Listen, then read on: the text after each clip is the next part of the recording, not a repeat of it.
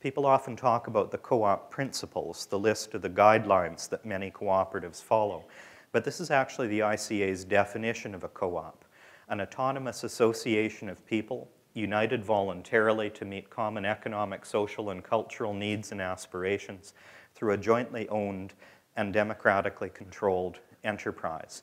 And one of the critical things about this definition, one of the things that I think they got right when uh, uh, Professor Ian MacPherson and his committee put this definition together, is they put in the word association and they put in the word enterprise. And a cooperative is both those things. Every cooperative everywhere, by definition, is both an association of people, a democratic association, and it's an enterprise. And an enterprise is something that takes risks, it acts in markets of some kind, it's exposed to success and failure, um, and it, uh, it has some kind of a bottom line that it needs to meet.